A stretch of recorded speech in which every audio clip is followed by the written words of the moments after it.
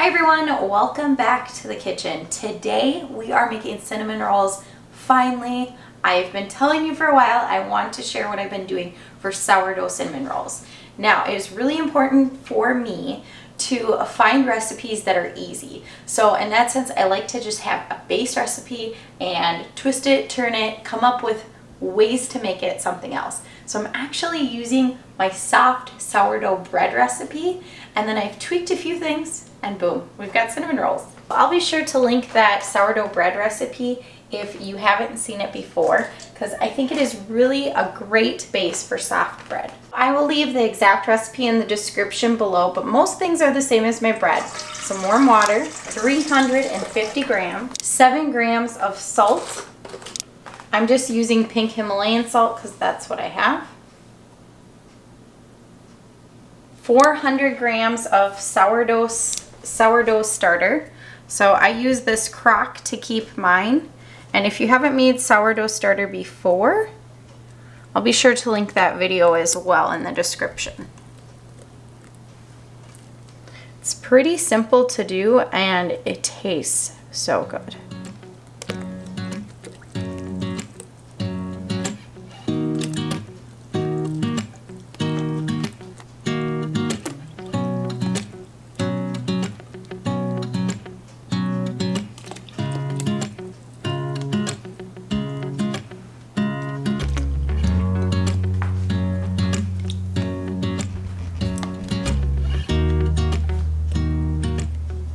All right, here is where I switch it up. Now, we all know cinnamon rolls are more of a sweeter dough than bread. So I am adding more honey to my rolls so that they're sweeter. So I'm actually just tripling the sugar amount for my dough. Now I've been trying to replace a lot of things that I would use sugar with, with honey instead because we have it. Our honey solidified this year, um, but it's really great for baking. So I'm gonna use 42 grams of honey, which is quite a bit.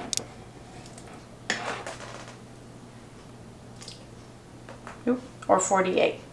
The next change to this recipe is I am going to be adding more fat, or in this case, butter. So typically I add, my recipe actually says a tablespoon of butter, but typically when I'm making my bread, I add closer to two or three tablespoons.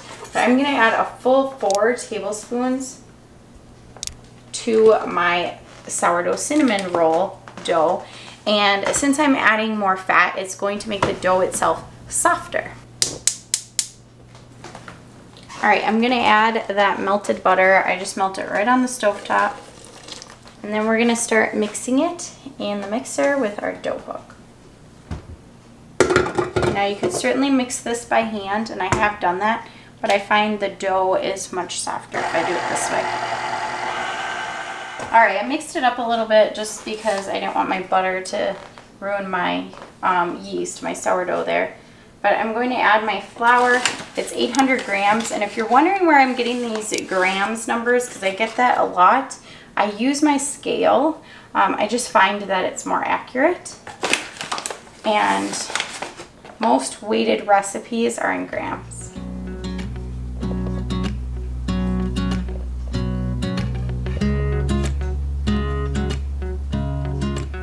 Put this back under the dough hook. You guys know I don't time this, but about 10 minutes maybe.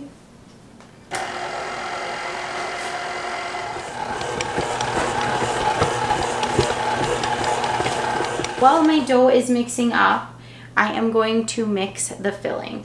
Now, I'm going to be making cinnamon rolls, but if you like caramel pecan rolls, they are just as easy to make. So I use the same ingredients, butter and brown sugar, I do use sugar in this, and cinnamon, only I add pecans. Now I like the inside to be rather thick, so that means more of the sugar and cinnamon, less of the butter. I don't measure. So then if I'm making caramel pecan rolls, I'll put that more liquidy with the butter on the bottom and I actually cook my caramel pecan rolls that way and flip them out to serve. But we're making cinnamon rolls today. So this is going to be a little thicker and just the inside and then tomorrow morning I'll make frosting when it's time to eat them. All right, so the first thing I'm going to add is the butter. I'm just using a little bit over a stick, uh, but about a stick. Again, I don't usually measure it. I usually just go by the texture of what it looks like. I'm gonna melt that a little bit and I'll get my cinnamon and sugar out and ready. Now, while that butter is melting, I'm gonna be adding the cinnamon and sugar. I would love to try this with honey, but I haven't dared that yet, just the dough. So I am going to use quite a bit of sugar. I'll use a measuring cup just for your sake of seeing about how much I end up adding. So a quarter cup. And this one I want a little bit thicker, more on the sugary side than the butter. Let's start with three quarters cup and see how that does. And then cinnamon, probably an eighth a cup, which is the same as two tablespoons.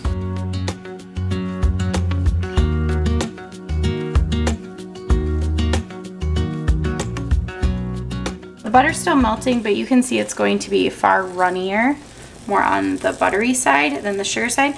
This would be perfect for the bottom of your caramel pecan rolls, which would end up being the top. Note to self, if you're making caramel pecan rolls, you don't need to butter your pan. You would just dump that mixture in the bottom, add some pecans to it, dump it in the bottom, and then make your rolls. And when you're ready to serve them, flip them over. So I'm gonna add another half a cup of brown sugar because I want this to be more on the sugary side than the buttery side. Now that everything is melted and mixed in, I'm gonna set this inside mixture aside so that I can um, let it cool a little bit because it's easier to spread if it isn't so runny. Otherwise it's just gonna run right off my dough. Now I have put in the fridge and if you do that for a little bit, it works well. But honestly, just setting it away from the heat can work great too. All right, my dough has been running for 10 minutes or so. I don't know exactly, but just to the top here. So it just fits in my mixer. So I'm going to clean this out. Now in the past, I used to always roll up my cinnamon rolls by shaking some flour on the counter and then rolling them out and that works great. But I found if I have a little bit more time on my hands, a little bit more patience, I can use my dough scraper to just get it off the counter. And if it's sticking to my hands at all, I can add just a little bit of butter or oil.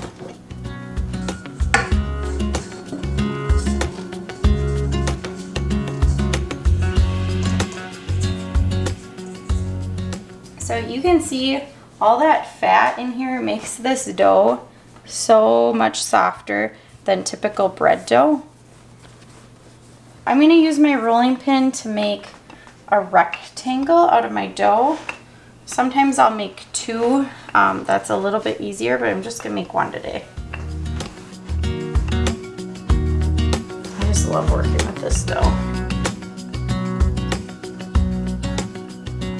My rectangle isn't perfect, but I would say it's about two feet by one foot, just to kind of give you an idea of how big I'm making it.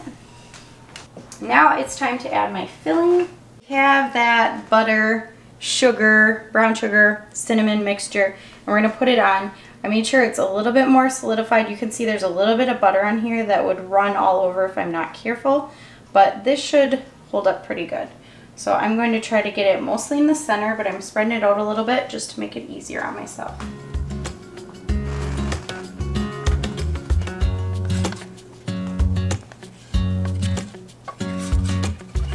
Now I'm going to just spread this out. The quicker the better because it's going to start hardening fast.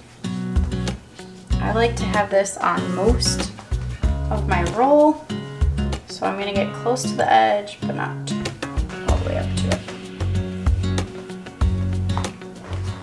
Now, here comes the putsy part. If I didn't flour my counter, I have to get this rolled up. So I just use my little scraper to kind of loosen one of the sides and start rolling it.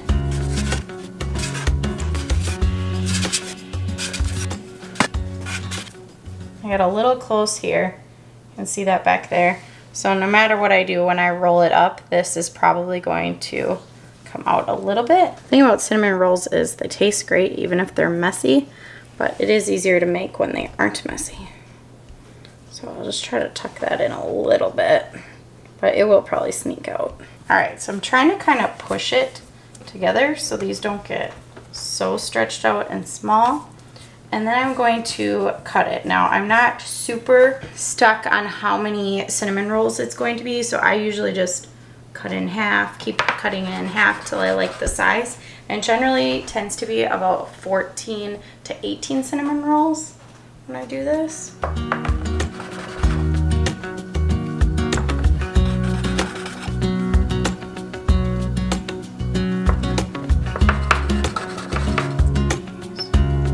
be about 16.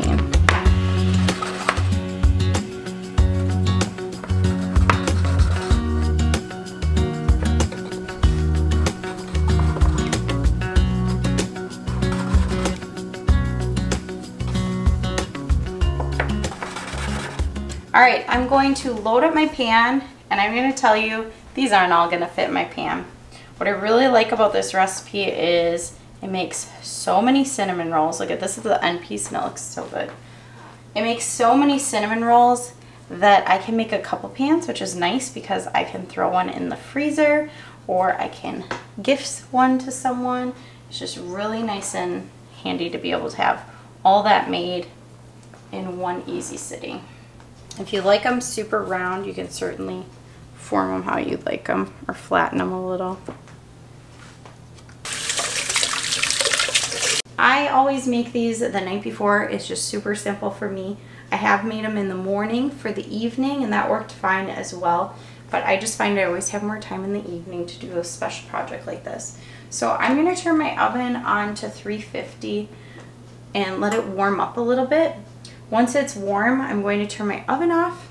We're going to put these inside and I'm going to let them raise overnight. My oven will be turned off, so don't leave that on overnight, um, but just enough to have a nice warm environment for them to raise. All right, I'm going to cover them with just a damp uh, white dish towel when they go in the oven. This is going to keep them from drying out on top.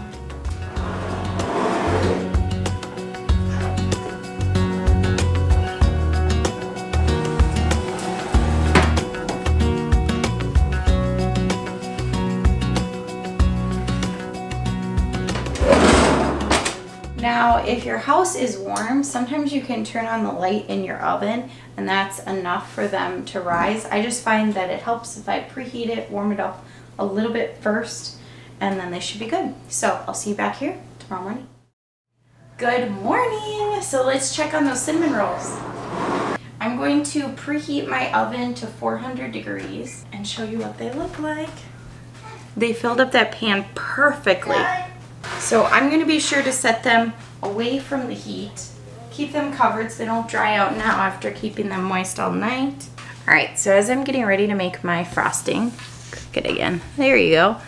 I'm getting ready to make the frosting. I'm going to make a cream cheese frosting and I usually use powdered sugar for this, but I opened my cupboard and realized that I'm completely out of powdered sugar. So this has happened before, and I know if I run out of powdered sugar, I can make some with just regular sugar. So to do that, um, I'll put a link above if you want to try and do that. It's super simple, um, but I keep telling you guys I'm trying more and more often to use honey for sweetener. So what better time to try than now? So we're gonna see how this turns out. I'm gonna use honey, cream cheese, butter, and vanilla. I'm going to use four ounces of cream cheese, which is half of a package for my frosting. And then as soon as that butter's soft, one stick of butter, about a teaspoon or, or, or more of vanilla. And we're going to use the whisk to whip this up. Now, normally I use two cups of powdered sugar. So if you're using powdered sugar, two cups. And I think this is going to have probably a different color, texture, and such. And I don't really intend to use a full two cups of the sugar, but we'll see with the butter kind of how it turns out. Don't be afraid to try new things in your cooking and baking. You never know what you're going to come up with.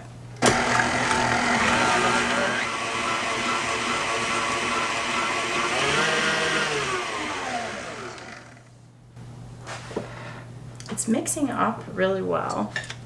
Still waiting on that butter. It looks good. You can see a couple of little crystallized chunks of honey in here. It might not end up being super smooth because of that, but I'm going to turn this back on. I can always add more honey, but I'm gonna let it mix a little bit, hopefully break up some of those chunks.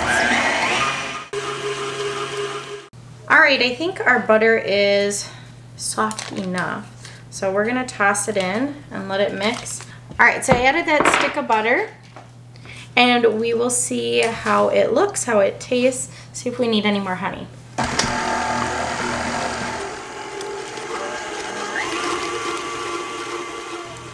Right, it broke up most of those little chunks of honey, but there's still a little bit.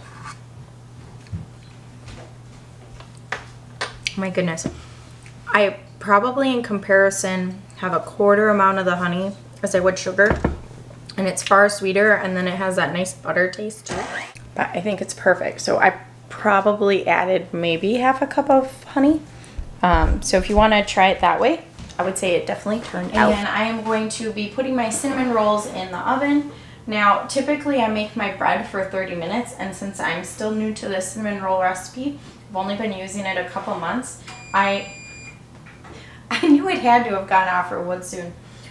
I've only been using this recipe a couple months. I'm still just at the stages where I check and kind of wait and see when it's done, um, but I'll tell you how long it took today.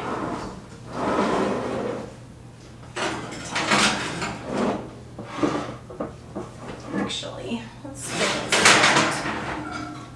Okay, both there. Now I haven't tried freezing the dough in this state yet after it rises freezing it to bake it. Um, but I probably will try that in the future. I have frozen these when they're done. Sometimes I'll frost them first, sometimes I'll set the frosting aside and then frost them after I heat them up. Um, it just depends on how I'm likely going to use them. So we're gonna let these bake. It's 8.32. I'll let you know when they're done. I have to show you the texture of this because it is just gonna be the perfect frosting. I'm so glad we tried it. Good thing we were out of powdered sugar. So it's been 15 minutes. We're at 8.47. So I'm just gonna check on these. I think they're gonna need, whoo, forgot this was a little pan. I think they're gonna need a little bit longer. A little bit, not actually too much. So maybe five more minutes. Set a timer for five minutes. My timer went off for five minutes, so let's check this big pan this time. Ooh, I think they're going to be good. I'm gonna just check them middle to be sure. Oh yeah. They look so good. All right, they look great. I'll get that other pan out. We're gonna let them cool down a little bit. It's almost nine o'clock here. So my kids are anxious to eat. They're home from school today, so everybody kind of slept in and we're having a slower morning. But I'm sure they're still anxious to eat these, especially with how good they smell. So we'll let them cool down a little bit and then frost them and serve them up.